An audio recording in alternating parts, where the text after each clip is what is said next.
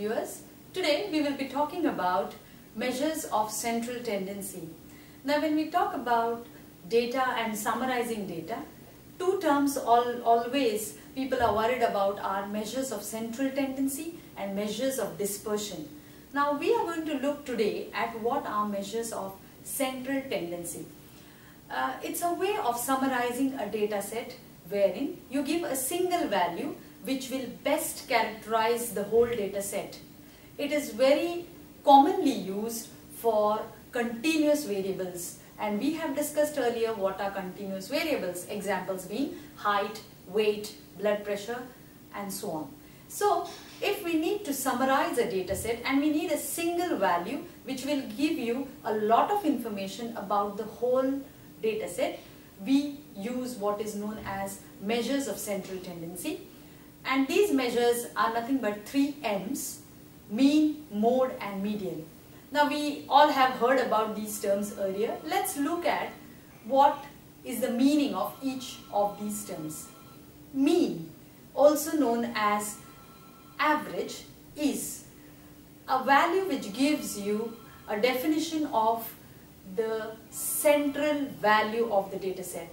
How do we calculate mean?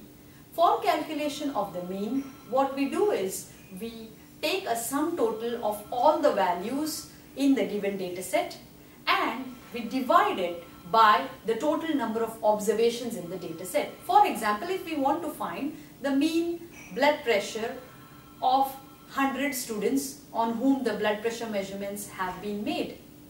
So what we do is we take the individual values of each student and we add them up together this forms the numerator and the denominator is formed by the total number of students. So in this case it would be 100.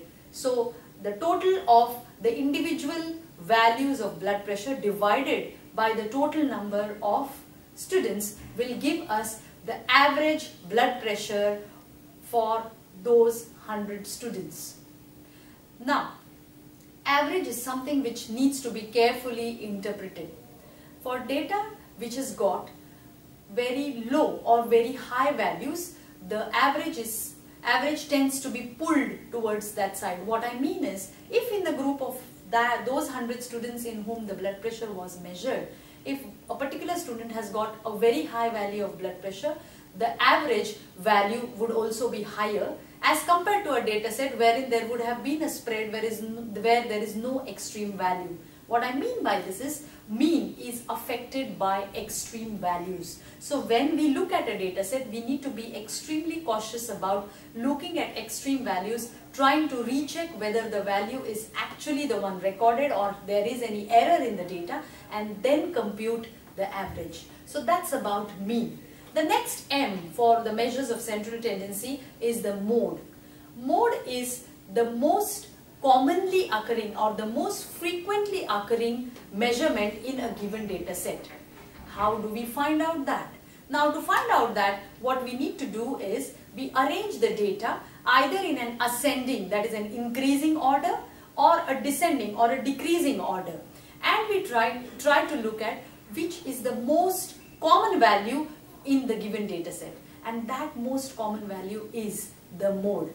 Now you may Uh, look at mode in different research articles and you may see find that it is not there. How do we express mode? Mode is expressed generally in the form of sentences like most commonly occurring incident or most commonly occurring value. If you see these words most commonly occurring, it indicates nothing but the mode. We move on next to the median. Now what is the median? The median is nothing but the central value in the given data set. Now to get the central value, we again need to arrange the data either in an ascending or a descending format and we try to look at the central value. The central value is the median of that data set. Now when it comes to odd numbers or when we have a data set in which the number of observations is odd, we can take the central value as it is, right? So for example, if we have 20, 21 observations, what's going to happen is the 11th observation is the median. But when we have even number of observations like 20 for that matter, we will have to take an average of the central two values wherein we add the central two values and divide by the number 2. So that's about median.